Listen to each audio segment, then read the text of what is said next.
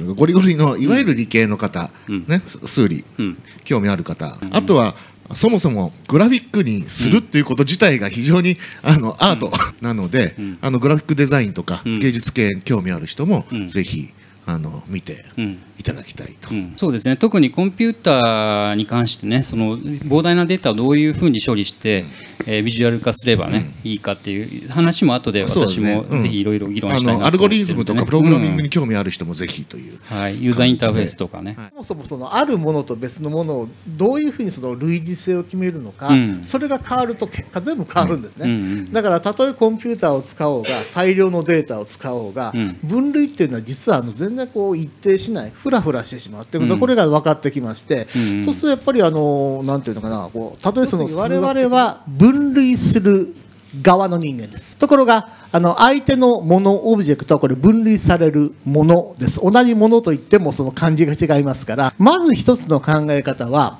その分類した時のその秩序はあの相手の側例えばの生物だったら自然界側にその秩序があって我々はそれを発見すればいいんだと。つまり秩序は実際に向こうに実在していて私たちはそれを発見すればいいんだ。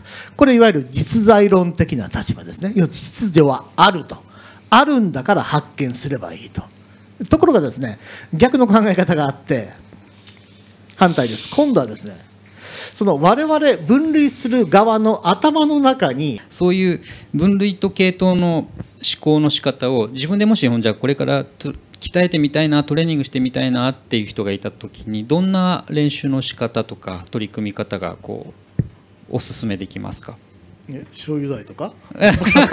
あまず醤油